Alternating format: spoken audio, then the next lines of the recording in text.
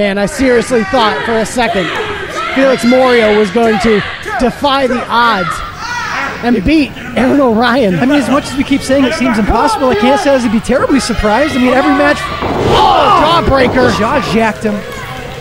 I can't even say I'd be that surprised anymore. Moreo keeps winning. Whoa, whoa, whoa, whoa, whoa. We got a fan over. Oh my God. Fan just swept the foot out on Raymond. What, he got a, he got an a iPad or something? My God. Thing over the face of Raymond.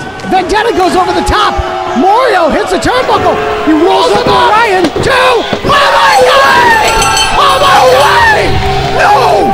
No! Felix Moreo beat Aaron Orion. Felix, and that was Derek Wolf that did the hit in the first place.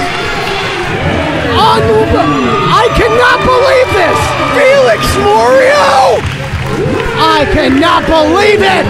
He pinned Aaron. Look at Aaron Orion's face. Look at the eyes of Vendetta.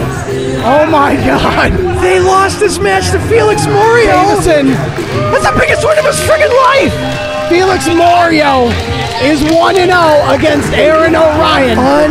Unbelievable. Let's not gloss over the fact Wolf busted in here wearing a mask earlier and he jacked Josh Raymond right in the face with that. And he held the Michiana title.